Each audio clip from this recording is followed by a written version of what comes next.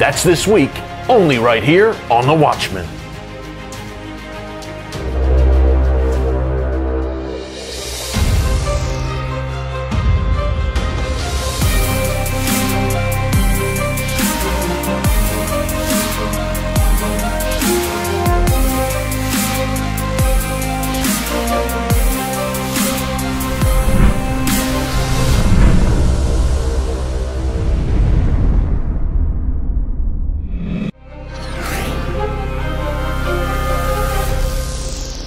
Welcome back. As if battling a global pandemic weren't enough, the world is also facing a severe protein shortage. Now, one Israeli food tech company based in the Golan Heights has a groundbreaking solution to this problem grasshoppers. And there is a biblical link. Take a look.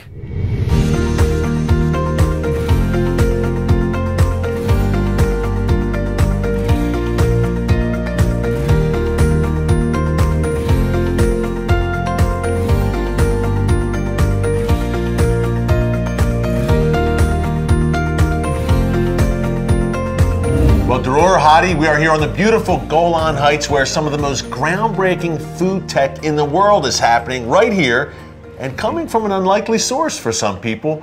Where are we right now and what are we going to see today? You just entered the world's first commercial grasshopper farm.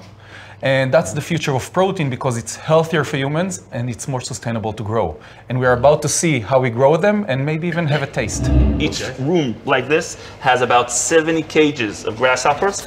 About you can be up a thousand grasshoppers in one cage. That's a lot of grasshoppers. So this is part of the magic, Eric. This is actually wheatgrass. All right, we grow it ourselves. And in another place, and mm-hmm. this is actually the food of the grasshoppers. They eat it. They grow very healthy and very rapidly. All right, they, they eat a lot of it. Yeah. And this is part of our magic. And, our- and you may say that actually the grasshoppers eat superfood. Ex- And, correct. and you can taste Okay. it, by the way. It Yeah, you can, you can taste taste it. it. Okay. A lot of people uh, use it in their green shakes in the morning or protein We will do shakes. that. Now, It's can a I very, pull it's a my very mask healthy. down for a second? yeah, and yeah, taste this? definitely. Okay, here we go. Go, go for it. If it's good for the grasshoppers, it's good for us. No? Very good. The grasshoppers have good taste. Excellent. Before we go on, the first question I have to ask is why grasshoppers? A lot of people at home might be saying, grasshoppers, oh my gosh, that's edible. Why grasshoppers? How did you discover this? Well, actually, the story started about um, 40 years ago. I was born in a kibbutz in Israel. And as a young boy at the kibbutz, my grandparents used to tell me stories from the 1950s. Israel used to suffer from locust swarms, grasshoppers flying in and Yeah. eating all the crops. They used to run to the fields trying to scare the grasshoppers away. At the same time, they saw other Yemenite and Moroccan Jews coming and collecting tons of grasshoppers and eating them. So as a young boy, I learned that grasshoppers are both food and they are kosher. Wow. So They're now- kosher. Yes. They're a very clean insect, right? Absolutely, Correct, the cleanest. correct. They eat only fresh grass with no pesticides, no Like- fertilizer, so right. it's super clean. Already today, 2.5 billion people across the world consume grasshoppers as part of their diet. So they are very high in demand across Africa, Asia, and Central America. Yeah. The problem is that today the supply comes from collection in the wild. Ah, So availability is very limited to about four, six weeks a year. Yeah. Prices are very high. In this facility, we can grow them year round at a much more efficient way. This insect is 70% protein. One of the highest protein count in nature, especially in, uh, in, uh, in insects. Mm-hmm. And two, these guys can live in a million uh, individuals in one place, One meaning swarm. it's called Wow. a swarm. From all the grasshoppers family, there's only seven species that does this, Okay. which we call locust or Yes. in Hebrew. That's Yeah. what we call. it. So basically, this is a locust. The species is migratory locust.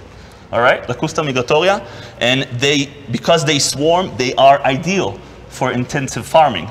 Meaning, as, as much as you crowd them more, Okay. they're more resistant to, to disease, et cetera, et cetera. So the more the better. Correct. People at home might be watching right now and saying, grasshoppers, how can you eat grasshoppers? Number one, they are not alive when you eat them.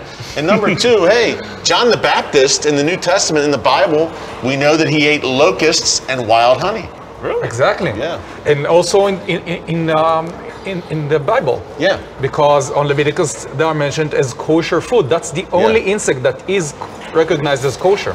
I will tell you that it's also a matter of sustainability because today 25% of greenhouse gas emissions around the world comes from the meat industry.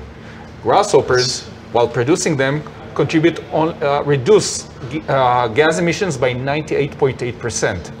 They also reduce water waste by 1,000 times and arable land usage by 1,500 times. So this is a very efficient animal to, to grow. Gentlemen, this is a big moment for me and for everybody at home. We are going to eat grasshoppers. We're going to do it. Uh, Dror, what do we have here? We'll start with the, with the biblical way, because in the Bible they eat them as a whole. So these are whole, dried, ready to eat grasshoppers, and you can eat the whole thing. Well, let's Now, see. Uh, let, let me just show you. This is a package with 4,000 grasshoppers. That's about one kilogram, two pounds of grasshoppers, ready for shipment to restaurants in Europe. Wow. Now we have a chance to actually eat them. Okay. We can do two things. First, All right. uh, you can eat the whole thing, but I suggest you remove the wings because they get stuck in your teeth. And I'll We teach you exactly, and I'll teach you how to pray before you eat them. Very important. Absolutely. Prayer before my meal. Yeah. So Okay. please repeat. You can just throw it that away. Okay. Just repeat after me. Okay. שהכל Shakol. נהיה Nahia. בדברו. Bidvalo. Everything is done by God's voice. Amen. Amen. Amen. Here it goes. What do you think? It's good. Does it taste like a bug? No, not at Exactly. all. No. It's food. It's food. The healthiest protein you ever had. This is good. Yeah. And protein after you exercise, after you work out, is also a good thing. I'm not kidding. It's not bad. These are gummies. This is a nutritional supplement, gummies made of grasshoppers with honey. So what we're eating here is a very healthy product that John the Baptist used to eat. This is John the Baptist diet. Wow. It's a biblical food. John Exactly. the Baptist, locusts and honey, grasshoppers and honey. And tell me if you can feel the grasshopper inside. Because that's one of the advantages grasshoppers No, have. this- this is a no, no, taste, taste Okay. it. Do it. Can you taste it? Of course. Texture, flavor, smell. Tastes like a gummy. It tastes great. Exactly. Yeah, give me another Honey one. flavored. Folks, if I'm going, if I'm going for seconds, you know it's good.